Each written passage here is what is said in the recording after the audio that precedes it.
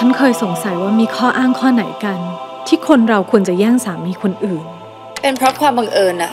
หรือบางที อาจจะเป็นเพราะพรหมลิขิตฉันคงให้คุณเป็นหมอของแม่ฉันไม่ได้หรอกค่ะ ว่ายังไงคะคุณอัคนียาลองจับดูสิคะว่าเนื้อผ้าเป็นยังไง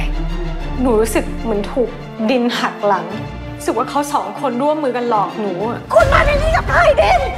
คุณไม่คนอื่นใช่ไหมดินพายพอแล้วคนไม่คนอื่นใช่ไหมดินนี่ถึงขั้นจ้างคนไปตามผมเลยเหรอ ต้องทำถึงขนาดนี้เลยเหรอพระพาย นี่ในสายตาคุณเห็นผมเป็นสามีหรือเป็นผู้ร้ายกันแน่